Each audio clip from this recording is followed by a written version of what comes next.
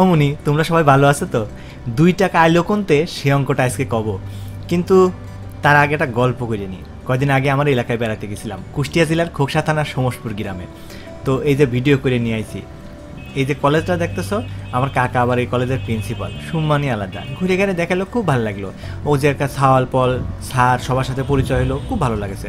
তার মধ্যে কয়েকজন করছিল যে ওরা নাকি আমার এক টাকা গেল কোনে সেই ভিডিওটা দেখেছে, দেখে নাকি খুব মজা লাগেছে। তো ওই জায়গাতে ফিরে সুমর পেলাম না, দেখি ফেসবুকে মেসেজ দিয়ে ভরা ফেলেছে, ও স্যার, ও ভাই, এক টাকার অঙ্কটা তো কয়েছেন এবার দুই টাকার ডাকন আমি কই, মলাম তো দুই টাকার ডাবার কইন রে? তারপর খুঁজে পাইছি। এই যে, অঙ্কটা আগে বুঝোই। এক লোক নাকি বাজারে গেছে একশো টাকা নিয়ে হ্যাঁ? তো যাওয়ার পরে প্রথমে চল্লিশ টাকার বাজার করেছে, ষাট টাকা থাকল। তারপরে ওই ষাট টাকাতে তিরিশ টাকার জিনিস কিনেছে, তিরিশ টাকা থাকল। তারপর ওই জায়গাতে আঠারো টাকা জিনিস কিনেছে, বারো টাকা থাকল। এবার বারো টাকা জিনিস কিনেছে, হাতে আর কিছুই থাকল না, শূন্য থাকল। তো এখন মোট কয় টাকার জিনিস কিনেছে, মোট খরচ কত হয়েছে সেটা একটু হিসাব করে দেখি আমরা। তাহলে আমরা দেখব, প্রথমে ছিল চল্লিশ তারপর তিরিশ, চল্লিশ আর তিরিশে সত্তর, তার সাথে হইল তোমার আঠারো, তাহলে অষ্টআশি, তার সাথে বারো যোগ করলে একশো। সুন্দর, একশো টাকা জিনিস নিয়ে গেছিল, একশো টাকা হাতে নিয়ে গেছিল, একশো টাকা শেষ।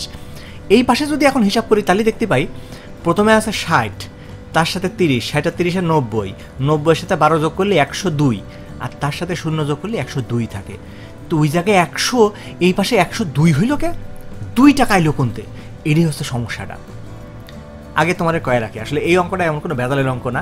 আসলে ডান দিকে যে আমরা যোগটা করেছি এখানে, দেখতে পাচ্ছ যে যোগটা এখানে করা হয়েছে, আসলে এই যোগটা একদম করা যায় না। এই যোগটা করাটাই ভুল। কি জন্যই ভুল সেটা আমি বুঝাবো তোমারে। তোমরা এরকম করে চিন্তা করো। মনে করো তোমার কাছে ছিল দশ টাকা, তুমি দুই টাকা খরচ করলে থাকল আট টাকা।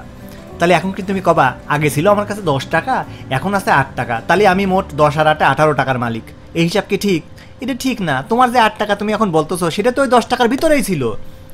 তাহলে ওই দুইটাকে দুইবার যোগ করা হয়ে গেল না? দুই আগেও আট ছিল, তার সাথে আবার আট যোগ করলে। যাদের বুঝতে আর একটু কষ্ট আছে, তার জন্য একটু বলি, যে লোকটা এই অঙ্কটা বানাইছে, এই যে, এই দুই টাকার অঙ্কটা যে লোক বানাইছে, সে আসলে হেভি শিয়ানা। এরম করে বানাইছে, যাতে ডান দিকে একদম একশোর কাছাকাছি কোনো একটা সংখ্যা থাকে। তুমি চেষ্টা করে দেখো একশো দ্বারের কাছেও আসবি না। বিশ্বাস হচ্ছে না তো? দাঁড়াও, আমি আরেকটা অঙ্ক বুঝাই, তাহলেই কবি নি। মনে করো, এক লোক বাজারে গেছে, লুঙ্গি কিনতে, একশো টাকা নিয়ে গেছে। তা যাওয়ার পথে ওই মতিনির দোকান পাইছে, ওই জায়গা বসে দশ টাকা দিয়ে মনে করো চা সিঙ্গারা খাইছে। তো খাইলো দশ টাকা, চা সিঙ্গার খালি থাকল নব্বই টাকা। এবার চা সিঙ্গার খাই উঠে আসবি, তখন পাড়া ছোটো ভাইয়ের সাথে দেখা হয়েছে এলাকা ছোটো ভাই। এসে কয়, ও ভাই, আপনি একা একাই খেলেন, এলা এলা খালি হবি? আমার একটু দেন। তখন ওর জন্য আবার দশ টাকাতে আবার কিনলো। কিনে ও মনে করো খেয়ে উঠে যাচ্ছিল। হ্যাঁ তাহলে ওর কাছে কিন্তু এখন আশি টাকা আছে, মনে রেখো কিন্তু। তাই ও খেয়ে উঠে যাচ্ছিল, তখন আর একজন আইছে। আইসে কয়, ও ভাই, ও ও খাইলো, আমি কি দোষ করলাম? আমারও দেন। ওরও দিল। তাহলে কি হইল বলো তো? দশ টাকা আরও খরচ করল কর পরে থাকল সত্তর টাকা। এখন চিন্তা করো, এবার ওই লোক ভাবতেছে এই সত্তর টাকা দিয়ে তার লুঙ্গি কিরাম করে কিনবো আমি? তাই ওই রেল লাইনের পাশের একটা চুরাই মার্কেটেতে পুরনো লুঙ্গি কিনে বাড়ি চলে গেছে, যাও, হিসাব শেষ। এইবার চিন্তা করো, মোট কত খরচ হলো? মোট খরচ কিন্তু একশোই হবি, খেয়াল করে দেখো, প্রথমে দশ টাকা, তার সাথে দশ যোগ করলে বিশ, তার সাথে দশ যোগ করলে তিরিশ, তার সাথে সত্তর যোগ করলে একশো। এতে কোনো সমস্যা নাই। ওই পাশে এবার দেখো তো দেখি, একশো দ্বারের কাছে আসে নাকি দেখি তো। প্রথমে ছিল নব্বই, তারপরে থাকল আশি, নব্বই আর আশি কত হয়? একশো সত্তর। তার সাথে তুমি আরও সত্তর যোগ করো, দুইশো চল্লিশ। তার সাথে শূন্য যোগ করলে দুইশো চল্লিশই থাকে। কই? এবার কি আইসে একশোর আশেপাশে আইসে আশি নাই। আসার কথাই না। আরে চিন্তা করে দেখো, এই যে নব্বইতে যে পরে আশি তুমি হইল, এই আশি যে কই ছিল? এই আশি তো নব্বইয়ের ভিতরেই ছিল।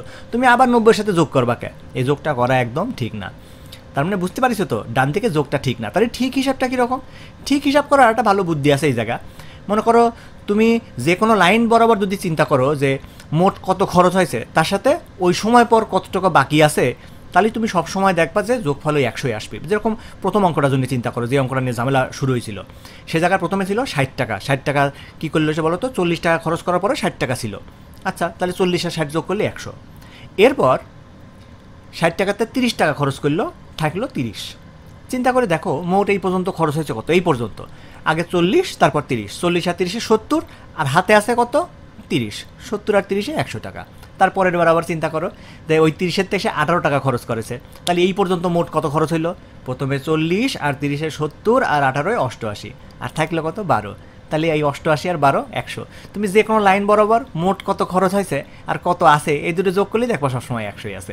এইটি হলো ঠিক হিসাব। বুঝতে পারছ তো?